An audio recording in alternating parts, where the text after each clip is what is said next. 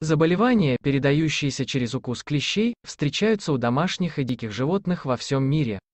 Пироплазмоз, он же бабезиоз, это название одной и той же болезни, в нашей стране повсеместно встречается у собак, однако в последние годы единичные случаи описаны и у кошек. Содержание пироплазмоз у кошек, главные причины заболевания симптомы пироплазмоза диагностика лечение пироплазмоза профилактика опасность для человека в мире случаи бабезиоза кошек зарегистрированы в Европе, Франция, Германия, Польша и Испания, и Азии, Израиль, Индия и Пакистан. Молекулярные исследования показали, что кошки могут содержать множество видов бабезий. Пироплазмоз у кошек – главное заболевание не характерно для России, Бабезиоз кошек является серьезной проблемой ветеринарии только в Южной Африке. Для болезни характерно хроническое течение без периодов высокой температуры. Обычно отмечают вялость и слабость питомца, прогноз зависит от серьезности заболевания, которое, в свою очередь, зависит как от факторов организма, так и от факторов хозяина. Сообщается о смертности от 15 до 20%. Причины заболевания бабезиоз – это клещевое простейшее заболевание, вызываемое паразитами рода бабесия, принадлежащими к пироплазмида. Именно поэтому заболевание известно и как бабезиоз, и как пироплазмоз. Бабезии представляют собой простейших одноклеточных паразитов, которые развиваются в эритроцитах животных и питаются их содержимым, гемоглобином. Во всем мире существуют многочисленные виды бабезий. В основном паразит видоспецифичен, то есть определенный вид паразита может быть опасен только для определенного вида животных. Например, бабесия канис заражает собак, бабесия эки лошадей, бабесия филис кошек и тому подобное, однако благодаря развитию науки, в частности молекулярной генетики, стало известно, что у кошек встречаются разные виды бабезий. На данный момент у кошек обнаружено паразитирование четырех видов бабезий, это Бабесия филис, Бабесия кати, Бабесия херпиларии и Бабесия пантера. Бабесия филис, впервые обнаруженная у диких кошек в Судане, впоследствии была признана основной причиной клинического заболевания домашних кошек. Хотя об абезиозе домашних кошек периодически сообщали из разных стран, как серьезное заболевание он, по-видимому, явно характерен только для Южной Африки. Причем бабезиоз кошек регулярно регистрируется только в прибрежных регионах. Предполагается, что инфекция передается клещом, но переносчик на данный момент до сих пор не идентифицирован.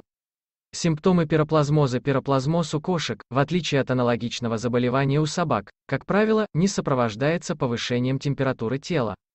Чаще всего единственными признаками владельцы отмечают похудение питомца и его вялость. К основным симптомам пироплазмоза относят бледность слизистых оболочек, удрученное состояние животных, в некоторых случаях развивается желтуха. Часто у кошек наблюдаются сочетанные инфекции, например, микоплазмоз, лейкоз, иммунодефицит, которые могут влиять на проявление заболевания. Диагностика золотым стандартом в диагностике пироплазмоза у кошек является выявление паразитов в маске крови из уха. Выявляются включения в эритроцитах, однако окончательный диагноз с определением вида паразита ставится путем ПЦР-исследования крови, полимеразной цепной реакции. К дополнительным методам диагностики относят общие и биохимические анализы крови. По общему анализу крови обычно отмечают регенеративную анемию, по биохимии крови – повышение уровня аланин-трансаминазы, но не щелочной фосфатазы и общего билирубина, а также различные нарушения электролитного баланса. Иногда может наблюдаться вторичная иммуноопосредованная гемолитическая анемия. Лечение пироплазмоза, учитывая редкость данного заболевания, лечение на данный момент не до конца разработано.